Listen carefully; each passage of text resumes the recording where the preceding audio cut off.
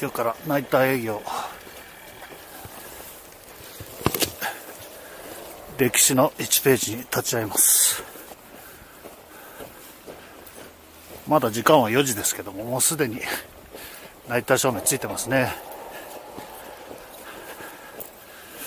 それではあそこまで行ってナイター。花園始まって以来初のナイター。乗ってみましょう。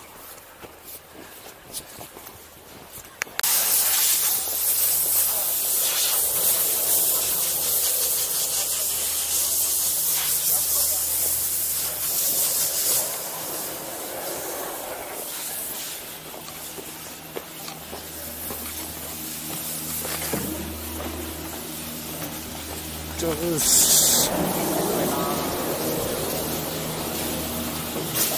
ああ綺麗だねやっぱりね。当たりつけばね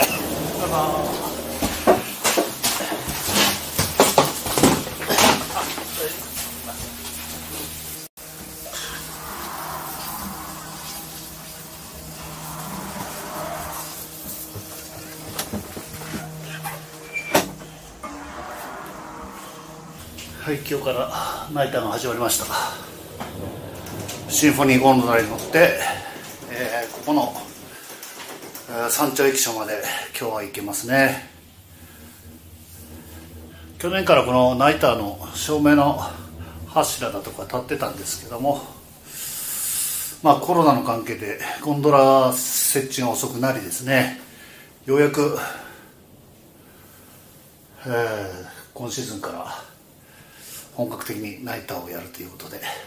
ただ時間がですね7時まで、えー、なのであまり長くは滑れませんけどもまああのちゃちゃっと滑る分にはいいんじゃないかなという気がします。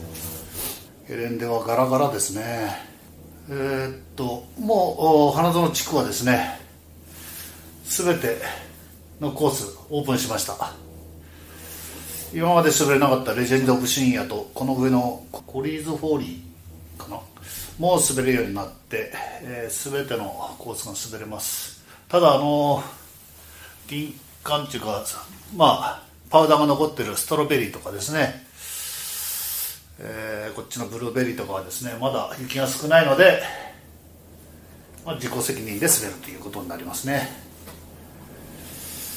はい中間駅舎が見えてきました。ここはパスして上まで行ってみましょう。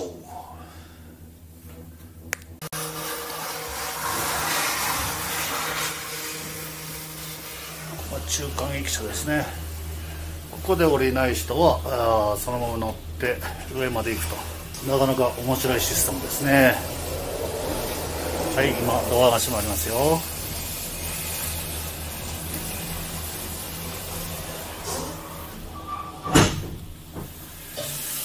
はい、ここから上はあ私も今回初めてこのゴンドラに乗って上がっていきます。ああ中継車コースということでそこそこ車道があるかな。ゴンドラの外枠明かりがついて綺麗ですね。はい山頂駅舎が見えてきましたね。この建物も去年は建ってましたけどもね。今年からやっとオープンということで。